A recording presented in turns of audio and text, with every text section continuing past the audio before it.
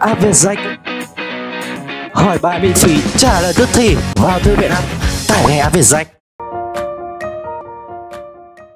Xin chào các em, cô rất vui được gặp lại các em trong bài học tiếp theo của chương trình tiếng Anh lớp 6, bộ sách kết nối. Hôm nay, chúng mình sẽ cùng nhau chuyển sang phần Skills 1 để thực hành với kỹ năng đọc và kỹ năng nói. Các bạn hãy mở sách giáo khoa trang số 44 giúp cô nào.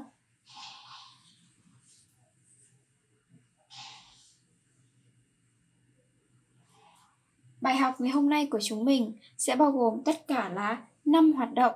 Trong đó, hoạt động số 1, 2, 3 cho phần reading và hoạt động 4 và 5 cho phần speaking. Chúng ta sẽ bắt đầu bài học với phần reading. Activity number 1 Read Khang's blog. Look at the words in the box. Then find them in the text and underline them. What do they mean? Hãy đọc blog của bạn Khang. Tìm những từ dưới đây ở trong blog của Khang và gạch chân chúng. Chúng có nghĩa là gì? Đây chính là ba từ ở trong hộp mà chúng ta cần phải đi tìm trong bài blog của bạn Khang. Thứ nhất, suburbs.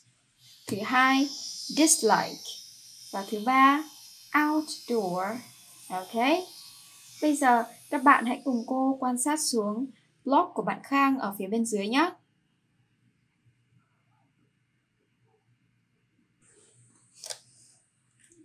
Blog này có tiêu đề là My Neighborhood, khu tôi sống. I live in the suburbs of Da Nang City. There are many things I like about my neighborhood. Tôi sống ở vùng ngoại ô Đà Nẵng, có rất nhiều thứ mà tôi thích ở khu tôi sống. Trong đoạn văn số 1 này, chúng ta có từ suburbs đây chính là một trong ba từ chúng ta cần tìm trong hộp vừa rồi đúng không nào? Như vậy là mình đã tìm được từ đầu tiên, suburbs. Chúng ta tiếp tục với đoạn văn số 2. It's great for outdoor activities because it has beautiful parks, sandy beaches, and fine weather. There's almost everything I need here shops, restaurants, and markets. The people here are friendlier and the food is better than in other places. Thật tuyệt cho những hoạt động ngoài trời bởi vì có những công viên đẹp, những bãi biển đầy cát và thời tiết rất dễ chịu. Có hầu hết tất cả mọi thứ mà tôi cần ở đây, như là cửa hàng, nhà hàng và các chợ. Mọi người ở đây thì thân thiện hơn và đồ ăn thì ngon hơn là ở những nơi khác. Trong đoạn văn số 2 thì chúng ta có từ outdoor. Đây chính là một trong ba từ chúng ta cần tìm trong block này. Và mình chỉ cần tìm thêm một từ nữa thôi, đó là từ dislike. Chúng ta cùng đến với đoạn văn cuối cùng However, there are two things I dislike about it. There are many modern buildings and offices, and the streets are busy and crowded. Tuy nhiên, có hai điều mà tôi không thích ở đây. Có nhiều tòa nhà và tòa văn phòng hiện đại và đường phố thì tấp nập và đông đúc. Từ cuối cùng chúng ta cần tìm đó là dislike nó đã xuất hiện. Bây giờ cô sẽ giúp các bạn giải nghĩa lại ba từ này nhé. Vừa nãy khi cô dịch bài đọc này theo đoạn văn thì cô nghĩ là có nhiều bạn cũng đã tìm ra được nghĩa của ba từ này rồi đấy. Đầu tiên, suburbs. Suburbs là ngoại ô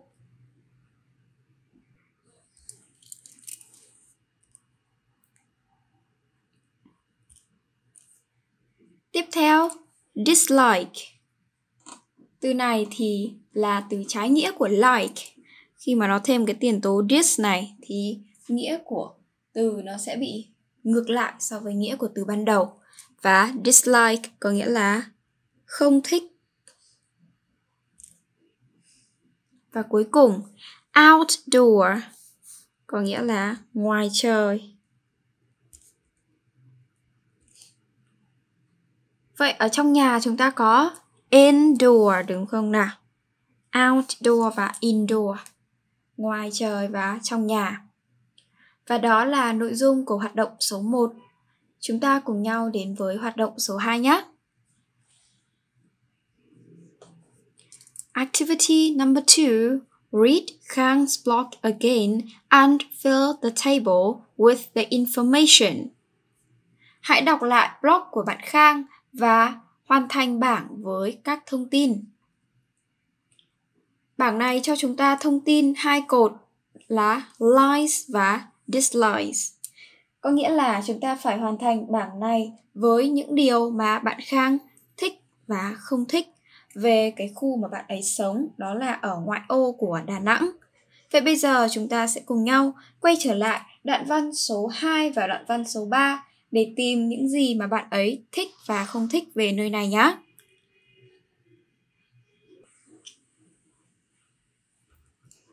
Đầu tiên chúng ta sẽ quan sát giúp cô đoạn văn số 2. It's great for outdoor activities because it has beautiful parks. Bởi vì nó có gì nhỉ? Có công viên đẹp này, sandy beaches, có những bãi biển đầy cát này và fine weather, thời tiết thì đẹp. Ngoài ra thì gì nữa nhỉ? There's almost everything I need here. Nó có hầu như tất cả mọi thứ. Ví dụ là cửa hàng, nhà hàng ăn uống và chợ. Và cuối cùng đó là người dân thì thân thiện và đồ ăn thì ngon. Đó là những thứ mà bạn Khang cảm thấy về cái khu mà bạn ấy sống. Bây giờ chúng ta sẽ tóm tắt những cái ý này vào trong bảng ở phía bên trên bài tập số 2 nhé. Đầu tiên là Beautiful Parks. Sách giáo khoa đã liệt kê sẵn cho chúng ta. Mình sẽ liệt kê những ý còn lại. Sandy beaches. Fine weather. Shops, restaurants, markets,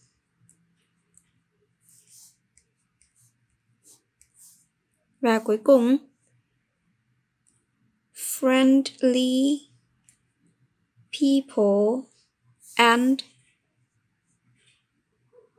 good food. Okay.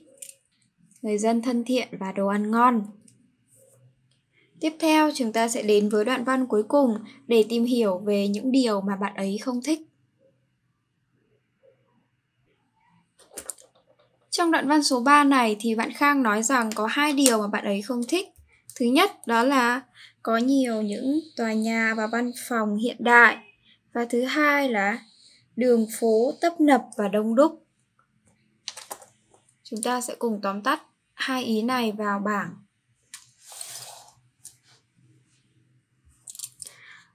Đầu tiên là modern buildings and offices. Và cái thứ hai đó là busy and crowded streets. Okay. Và đó là nội dung của hoạt động số 2. Tiếp theo chúng ta sẽ cùng nhau đến với hoạt động số 3. Yêu cầu của hoạt động này là Read Kang's blog again, then answer the questions. Đọc lại blog của Khang và trả lời các câu hỏi. Chúng ta cần trả lời 4 câu hỏi sau đây. 1. Where is Khang's neighborhood? Khu bạn Khang sống là ở đâu? 2. Why is his neighborhood great for outdoor activities? Tại sao nơi mà cậu ấy sống lại phù hợp với các hoạt động ngoài trời? 3. What are the people in his neighborhood like? Người dân ở nơi bạn ấy sống thì như thế nào? 4. How are the streets in his neighborhood? Đường xá ở nơi bạn ấy sống như thế nào? Bây giờ chúng ta sẽ cùng nhau đọc lại bài đọc và tìm ra câu trả lời cho bốn câu hỏi này. Trước tiên là câu hỏi số 1. Khu mà bạn Khang sống nằm ở đâu? Đối với câu hỏi này, chúng ta sẽ cùng nhau nhìn vào đoạn văn số 1. Trong đoạn văn số 1, ngay câu đầu tiên thì bạn Khang đã nói I live in the suburbs of Da Nang City. Vậy câu trả lời của chúng ta là cậu ấy sống ở ngoại ô của thành phố Đà Nẵng.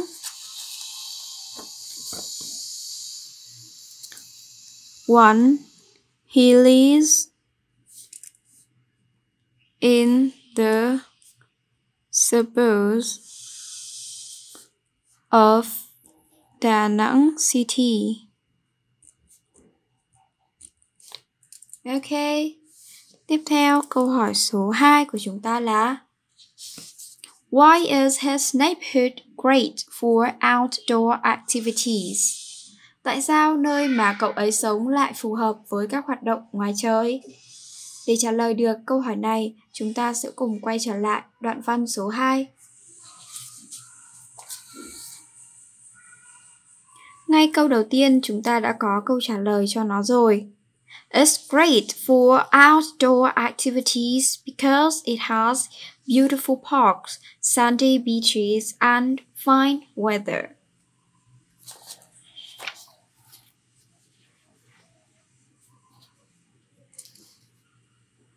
Because it has beautiful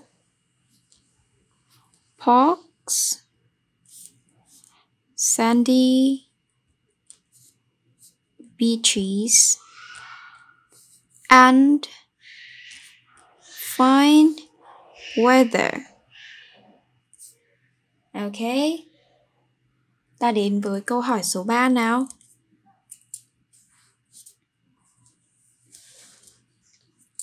What are the people in his neighborhood like? Con người ở nơi bạn ấy sống như thế nào? Hãy nhìn cho cô vào câu cuối cùng của đoạn văn số 2 nhé.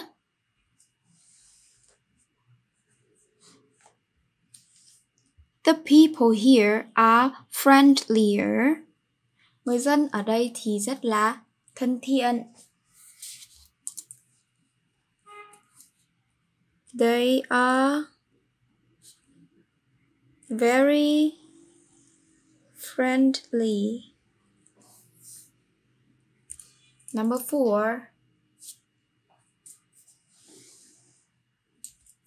How are the streets in his neighborhood? Đường xá ở nơi cậu ấy sống như thế nào? Hãy nhìn cho cô vào câu văn cuối cùng của đoạn văn cuối cùng nhé.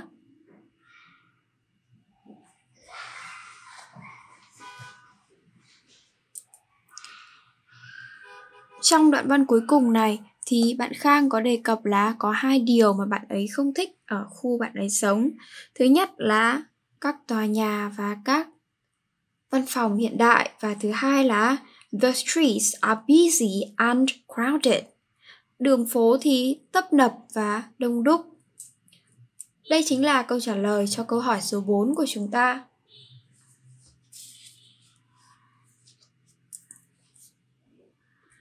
They are busy and crowded.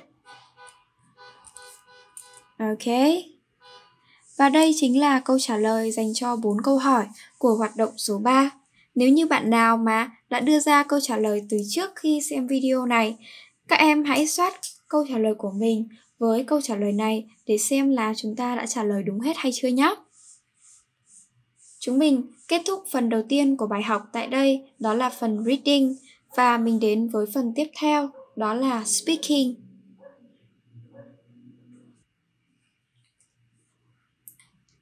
Activity number four Make notes about your neighborhood. Think about what you like or dislike about it. Hãy tạo một cái ghi chú về nơi mà em sống, nghĩ về những gì em thích hoặc không thích về nó. Tương tự như hoạt động số 2 thì hoạt động này chúng ta cũng sẽ hoàn thành một bảng những điều mà em thích và những điều mà em không thích về nơi mà em sống. Khác với hoạt động số 2 ở chỗ là hoạt động này mình sẽ nêu ra chính cái quan điểm dựa trên thực tế cuộc sống của chúng ta ở khu mà mình sống nó như thế nào. Chúng ta có thể liệt kê vào bảng này, chứ mình không cần phải dựa vào nội dung của bài đọc nữa. Và cô cũng sẽ đưa ra cho chúng ta một số những gợi ý của cô, một số những ý tưởng của cô đối với hoạt động số 4 này để cho chúng ta tham khảo nhé.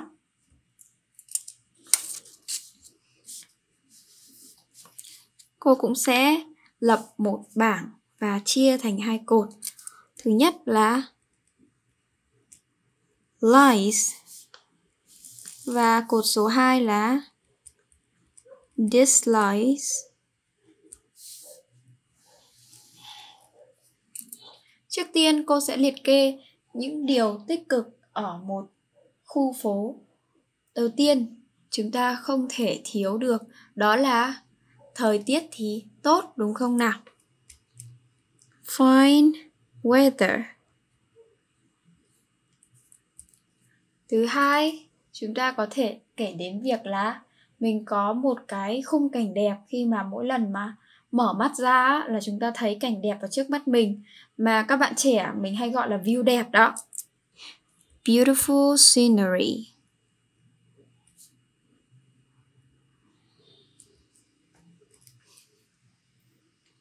Tiếp theo, à, chúng ta cũng có thể kể đến việc nó thuận tiện như thế nào.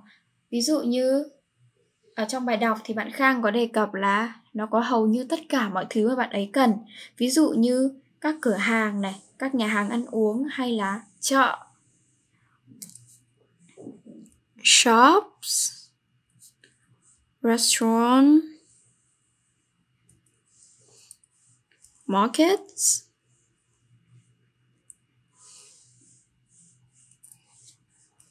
Ý tiếp theo có thể là ở lứa tuổi của các em, các em còn đang đi học thì một điều mà cô thấy rất nhiều các bạn ở lứa tuổi các em thích đó là bởi vì trường của các bạn ấy ở gần nhà cho nên là đi học và đi học về nó rất là thuận tiện, nó tốn ít thời gian và các bạn ấy có thể tự đi mà không cần bố mẹ phải đưa đón. Near my school chẳng hạn. Và ý cuối cùng chúng ta có thể đề cập đến ở trong những điều mà mình thích, đó là hàng xóm thân thiện tốt bụng.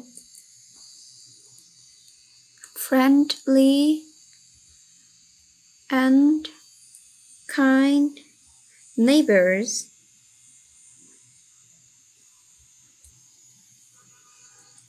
Neighbors ở đây cô giải nghĩa cho chúng ta nếu bạn nào chưa biết luôn nhé. Neighbors có nghĩa là hàng xóm. Ok. Tiếp theo thì cô sẽ gợi ý đến những điều mà có thể nhiều bạn không thích về khu phố của mình. Thứ nhất, đó là không ai thích một không khí ô nhiễm cả đúng không nào? Polluted air. Thứ hai, chúng ta có thể kể đến là traffic jams, tắc đường. Cái này thì hay xảy ra ở các khu vực trung tâm và thành phố lớn. Traffic jams. Thứ ba, chúng ta có thể dùng một cái tính từ để mô tả nếu mà khu phố của chúng ta có ít các loại hình giải trí đó là boring. Okay, boring life, chẳng hạn, cuộc sống nhàm chán. Lack of entertainment. Đó, thiếu đi cái sự giải trí. Hoặc là gì? Chúng ta có thể kể đến một số những cái tệ nạn làm cho chúng ta cảm thấy sợ hãi. Ví dụ như à ví dụ đó là tội phạm crime vân vân thì đây là một số những gợi ý của cô dành cho hoạt động số 4 và các bạn có thể dựa vào những ý tưởng này của cô và tham khảo nó cũng như dựa vào tình hình thực tế ở khu mình sống để có thể hoàn thành được cái ghi chú của chúng ta trong hoạt động này nhé. Mình kết thúc hoạt động số 4 tại đây và đến với hoạt động số 5.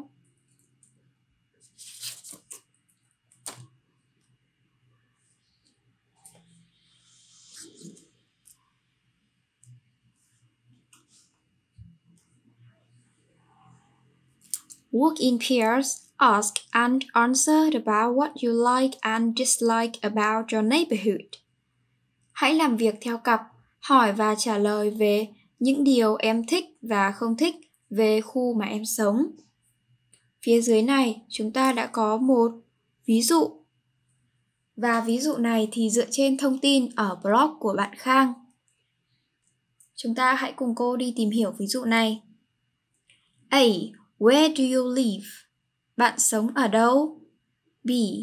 I live in the suburbs of Đà Nẵng City. Mình sống ở ngoại ô Đà Nẵng. A. What do you like about it? Bạn thích gì ở nó? The weather is fine. The people are friendly and the food is good. Thời tiết thì tốt, con người thì thân thiện và đồ ăn thì ngon. What do you dislike about it? Điều mà bạn không thích ở nó là gì? The streets are busy and crowded. Đường phố thì tấp nập và đông đúc. Như vậy, trong bài tập số 5 này, chúng ta cần phải hỏi được 3 thông tin về người bạn của mình. Thứ nhất đó là Where do you live? Bạn sống ở đâu? Thứ hai, What do you like about it? Và thứ ba, What do you dislike about it? Đây chính là ba câu hỏi chúng ta cần hỏi được trong bài tập số 5. Và bây giờ, để cho chúng ta thêm một ví dụ nữa để các em hiểu thêm về bài tập số 5 này thì chúng ta sẽ dựa vào nội dung mà cô đã gợi ý từ hoạt động số 4 để lấy làm một ví dụ khác nhé. Đây chính là cái ghi chú của cô dành cho hoạt động số 4 vừa rồi. Bây giờ thì chúng mình sẽ cùng nhau đặt câu hỏi và đưa ra câu trả lời dựa trên thông tin của ghi chú này. Các bạn còn nhớ câu hỏi đầu tiên của chúng ta là gì không? À, đó là Where do you live? Bạn sống ở đâu? Where do you live? Chẳng hạn như, tôi sống ở trung tâm của thành phố Hà Nội. I live in the center of Hanoi City. Ok. Câu hỏi số 2 chúng ta hỏi xem là điều mà bạn thích ở khu đó là gì? What do you like about it.